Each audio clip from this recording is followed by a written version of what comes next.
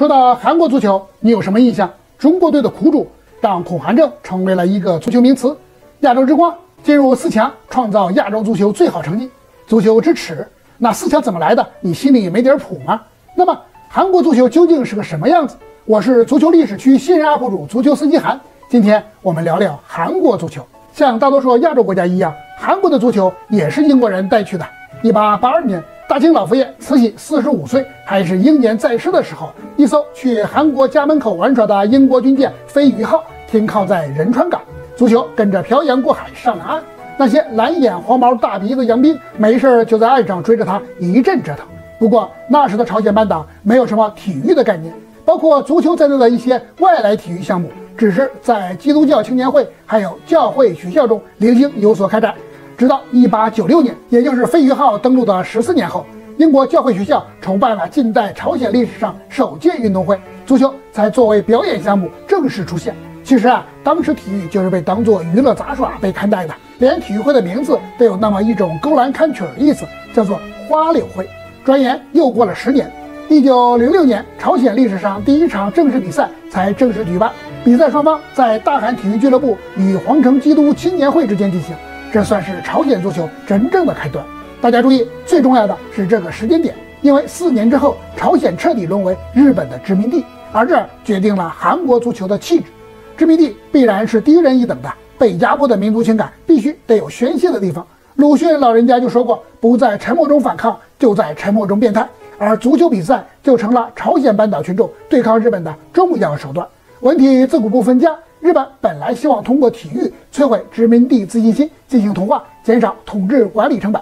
结果，朝鲜的足球队抓住了这一合法的途径，来了一波反输出。其中，1926年，朝鲜足球队去日本本土比赛，八场比赛取得了五胜三平。1928年，重池中学队在全日本中学足球锦标赛上荣获冠军。1935年，京城足球队代表朝鲜参加了第一届全日本足球锦标赛，勇夺桂冠。以至于一九四二年，日本恼羞成怒，喊着“撕了撕了你”，将朝鲜足球协会强制解散。对于其他球队来说，足球是战争，仅仅是一种比喻；而对于当时的朝鲜足球来说，和日本球队踢球就是真打仗，真正深仇大恨，以牙还牙，以眼还眼，刺刀见红的那种。而这种对足球的理解，像血脉一样一直延续下来，以至于韩国足球的比赛风格很是凶悍，还出现了零二年世界杯那样毫无体育道德的情况。因为他们其实也不怎么爱体育、爱足球，他们只爱胜利。在他们的体育价值观里，胜利才是唯一的目的，其余都不值一提。这种心态让韩国在五四年和零六年世界杯预选赛中分别出现了两个极端情况。一九五四年，韩国队在第五届世界杯亚洲区预选赛上碰到了日本队，由于国内反日情绪高涨，对阵日本的这两场小组赛都在日本举行。打日本之前，韩国政府就下了必须要赢的死命令。主教练也立下了军令状，倘若输给日本队，就淹死在选海滩。最终，韩国分别以五比一和二比二一胜一平，顺利进入决赛圈。虽然在世界杯赛场上一球未进，被刷了十六个球，但因为是踩着日本进去的，呃，无所谓。一九六六年英格兰世界杯的亚洲区预选赛，韩国队这次的小组赛对手出现了朝鲜。当时的朝鲜实力很强，竟然二十九胜一负，妥妥亚洲霸主的样子。因为朝鲜队的实力过于强大，韩国政府担心韩国队落败可能会产生巨大的消极影响，直接选择了退赛。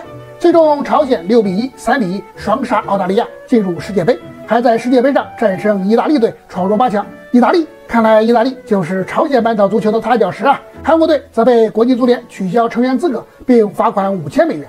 所以说，足球在韩国背负的很多。到了七十年代，世界杯的影响力日益扩大。而韩国足球在冲击世界杯等国际赛事上的实力，让国内足球氛围降到冰点，技不如人的足球啊，西吧，欧巴才不去看。再加上国内比赛场地都不好，连菜地都不是，简直就是刚拔过萝卜的泥地。不下雨腾云驾雾看不到人，一下雨浑身泥巴瞅不出人，野蛮。不如去看美国大兵给给玩的棒球，优雅。结果观众人数跌破千人以下，跟现在不受待见的女足一样。但就像人生一样，没有最坏。只有更坏，地板下面还有下水道。一九八二年，印度新德里举办的第九届亚运会，韩国足球队在小组赛上分别以零比一和一比二输给了伊朗和日本队，惨遭淘汰。韩国足球跌入了马里亚纳海沟，输伊朗无所谓，输日本是可忍孰不可忍。全国上下到处都是喊日内瓦最强的。但不得不佩服的是，韩国人是有一点狠劲的。比如一大传统技能就是切手指，面对足球这种情况，必须得改了。韩国人四次去德国学习，又邀请德国足球专家来韩讲学。一九八三年推出了韩国足球超级联赛，这是亚洲最早的职业足球联赛，比中国早了整整十一年。当时有个很有意思的现象，就是在职业联赛开始之前，韩国就有两支职业化球队——哈利路亚和有功大象队。但职业化开始之后，还是只有这两支职业化球队，剩余的三支球队都还是企业队，分别是大宇、浦项制铁和国民银行。没错，当时的韩国足球超级联赛就五支球队。其实当时韩国人虽然意识到职业化是方向，但怎么职业化却没有谱。就像拿着剪刀的菜谱封皮儿，就想做出一桌好菜。不出意外的话，意外一定会发生的。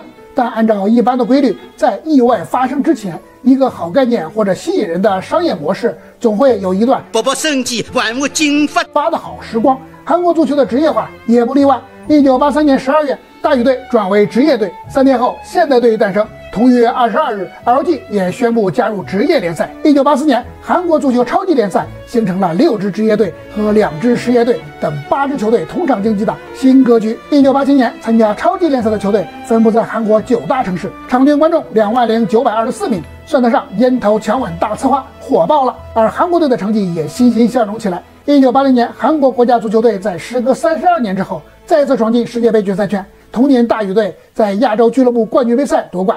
但韩国职业足球其实只是名义上的职业，在联赛运营层面不能说很业余，只能说相当随意。那是球队的主要回血方式，就是门票收入。这就要求球队能够扎根在一个地方进行深耕，不断的培养观众，才有上座率。像现在的欧洲俱乐部一样，动辄就是几十上百年的老队伍，全家老少周末一起去看球，形成固定节目。而韩国俱乐部过于乐观，估计了群众的热情，一开始就持续性的竭泽而渔。球队从名字上看就是从属于一家企业，球队主场变动频繁，好听点叫不断开发新市场，难听点叫到处割韭菜。韩国才多大呀？大家有多是胜利米、冠军米。你一个不上不下的破球队，在我城市踢一年半载就好，跟我有啥关系？我还嫌你影响交通呢。多数球队的关注度和价值被迅速消耗，苟延残喘。八十年代末九十年代初，平均每场比赛的观众数仅为三千余人，与开幕之初相比下降了近百分之八十。冷冷清清，凄凄惨惨戚戚啊！元老都撑不住了。开创出局的五支球队中，国民银行队和哈雷路亚队先后退出了联赛，而韩国国家队的成绩也受到了很大影响。一九九二年的亚洲杯，韩国竟然一比二输给了泰国，连亚洲杯正赛都没能进入。泰国为什么又是泰国？我为什么说又？又到了切手指改编的时候了。九四年，韩国足协改组超级联赛，将其正式更名为韩国职业足球联赛，简称 K 联赛，并从一九九五年开始明确要求各球队实行地域和企业联合冠名的方法。三星、现代等队因此改名为水原三星、蔚山现代等，球队扎根了，观众更多认同了，K 联赛的人气得到了逐步的回升。一九九六年，又有一根强心针注入，韩国和日本联合申办世界杯成功。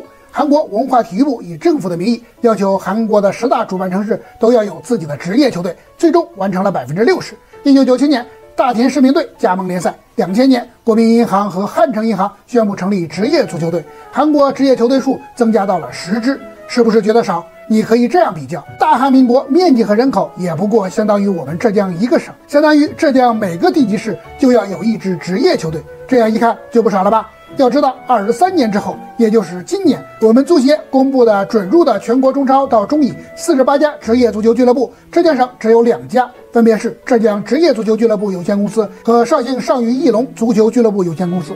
虽然他们的密度比咱们多，但韩国足球的主要问题还就是人口体量和足球市场有限。即使韩国从一九八六年起就没落下世界杯，即使两千零二年历史性的进入世界杯四强。但他们的人口就那么五千来万，不仅跟咱们没法比，连隔壁日本都是它的两倍多。而一九九八年亚洲金融危机影响，大批企业有破产倒闭，诸多企业体育队伍别说继续向上成为职业队伍了，不被强迫解散都算不错的了。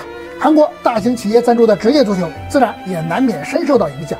同时，韩国娱乐产业和棒球联赛又更加发达，分流了大量的观众和媒体资源。所以很长时间，韩国职业联赛都是在夹缝中求生存，一直到二零一一年，K 联赛球队才拓展到十五支，但还是没有升降级的封闭联赛。零三年开始举办的 K 二联赛也只是半职业联赛，缺乏观众，商业价值就低，商业价值低，投资就少，就没有明星球员，没有明星，没有市场号召力，更不可能像 NBA 一样全球运作扩大营收。再加上又不升降级，就容易造成两个问题：一个是躺平，一个是表演。如果没有夺冠或者参加亚冠的机会，踢好踢坏一个样，那干嘛不自己轻松一些，或者多想办法赚点钱？于是 K 联赛和瑞典超、巴西甲、澳超一起成为著名的世界足坛四大甲，其中最臭名昭著的就是三个摆烂专家：广州 FC、江原 FC 和大田市民队。其中大田市民队后来是假球案的第一重灾区。单场输个七八个不在话下。二零一一年，韩国特大假球案东窗事发，仁川联队守门员李继元夺得过亚冠冠军的郑中宽，上周商武队主教练李寿哲，水原三鹰队球员李金焕先后自杀身亡。前韩国国脚金东炫、崔成国被抓了出来，最终有五十多名球员涉案，大约占了当年韩国注册球员的百分之十。这样继续下去要玩完了，必须再次切手指明志了。二零一二年 K 联赛开始有升降级。二零一三年职业联赛第三十个年头，K 联赛被分为 K 一联赛和 K 二联赛。原来的半职业 K 二联赛变成了 K 联赛的三级联赛，而原来的 K 三联赛挑战者联赛变为 K 联赛的四级联赛。名义上一次降一级就是了。为此，当时就掌舵足协的郑梦奎为了推行自己的政策，不惜强行降级上五队。上五队是什么背景？属于丙午厅的下属球队。有义务服役的韩国球员可以通过加入这个俱乐部，在履行国防义务的同时，继续他们的足球生涯，根本不需要转会费。郑梦奎也算是手段强硬了。而具体的赛制中间又来回调整了很多次，现在采取的是双阶段模式，十二支球队根据第一阶段双循环主客场，前六进入争冠组。后六进入保级组，然后再进行单循环决定冠军和保级队。这样每个队从头到尾不是有夺冠和打亚冠的希望，就是有降级的危机，增加了竞争性和观赏性，大大增加了买球卖球的成本。可以说，在足球发展这块，韩国走了不少弯路，但每次的反应和调整都很迅速。但我们发现，即使韩国足球国家队和俱乐部的成绩都算不错，而联赛球队的身价却和退潮后的中超拉不开距离。中国队只在零二年进过一次世界杯，巅峰期也是一球未进，一分未得。韩国队则是八六年之后从未缺席过世界杯，还胜过德国，踢过意大利，进过四强。俱乐部层面，零二到零三赛季亚冠正式开始后，中国也就恒大拿过两次冠军，而韩国四支俱乐部拿了六次冠军，这不合逻辑啊！为什么人家能力强，身价却不高？答案很简单，因为韩国真正的巅峰球员都已经出去了，留在国内的。是还没打出身价的年轻球员和已经走过巅峰的养老球员，能力有，但身价却不高。这就是韩国足球的特点了：国内保底，国外磨练，外向型的足球培养之路。说白了，就是把球员送到国外。其中最早取得巨大成功的是车范根。韩国国内1983年开始职业化的时候，车范根已经在德甲踢了五年。从达姆斯塔特转会到法兰克福，拿到了欧洲联盟杯，成为德甲薪水第三高的球员。对了，后来德国队主教练勒夫当时就是吃范根的替补。吃范根八三年又从法兰克福转会到了勒沃库森，在八五到八六赛季成为了德甲的 MVP 最有价值球员，并在一九八八年帮助球队拿下欧洲联盟杯。一九八九年吃范根退役时，他在三百零八场的德甲比赛中进了九十八球，这一度是德甲外国球员的进球纪录，一直保持到一九九九年。德国球迷因为叫不好他的名字，还给他起了一个“炸弹车”的绰号，比之后的中国鞭炮强上不少。而零二年为干掉意大利立下汗马功劳的，也是在意甲佩鲁贾效力的安贞焕。韩国人一看这行啊，正好国内市场有限，金融危机又让金主爸爸们自身难保，捉襟见肘。世界杯四强虽然不光彩，但黑红也是红啊。韩国球员受到了更多关注，特别是抠抠搜搜喜欢掏高性价比球员的德甲。于是，这种战略性的球员海外发展模式被确立，还称之为足球技术外包。即以牺牲部分国内足球市场为代价，将有潜质的足球运动员输送到一流联赛效力，从而换回国家所需要的更高水平的足球技术和球星。这政策执行到二零一零年的时候，韩国打入世界杯十六强的队伍里，海外球员数量达到了十人，其中朴智星和李青龙在英超，车杜里和金南一在德甲，朴周勇在法甲，季承庸在苏超。二零二二年，韩国队世界杯大名单中有八人在欧洲踢球，六人在五大联赛。其中最知名的就是热刺的亚洲天王孙兴敏和今年加盟拜仁的后卫金敏哉。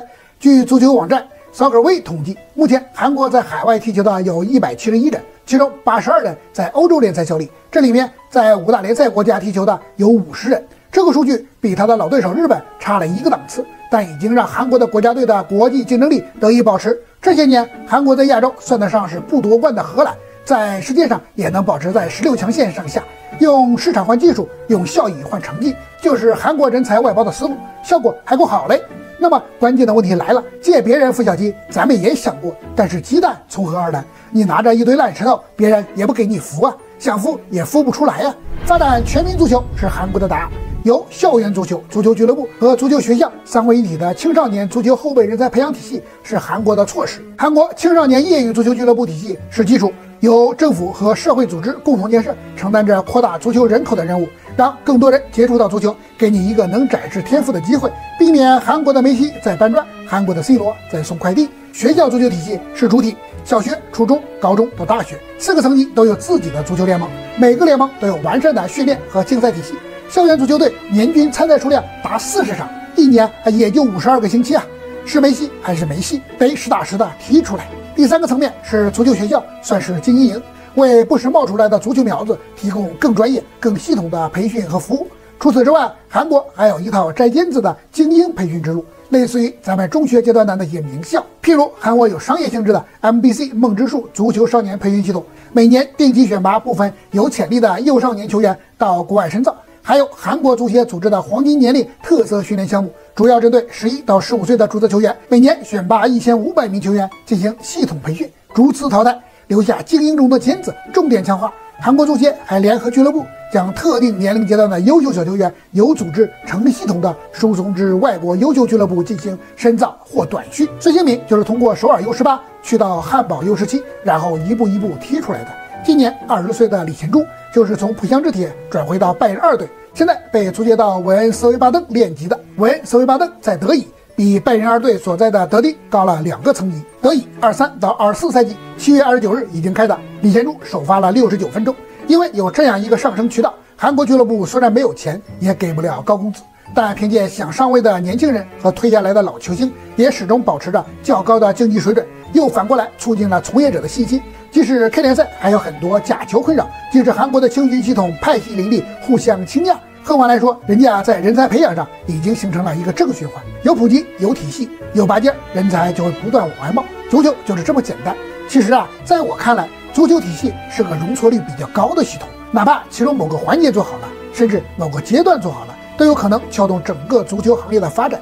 韩国的政治很混乱，各项体系建设又乱又糟，足球职业联赛的发展也磕磕绊绊。但哪怕头痛医头、脚痛医脚的应激反应，加一点点运气，也能向上提升。有些前瞻性的布局，譬如简单的借机生蛋，也能起到很好的效果。道理并不复杂，在大多数国家，足球还没有到精细化竞争的地步。只要你去做，一步步去走，哪怕绕一点弯路，也会很好。只要多在乎一下整体的利益，就会很好。我是足球司机韩，一个致力于客观看足球、新民 UP 聊足球的小微 UP 主。如果你有同样的想法，不妨关注一下，不时聊聊。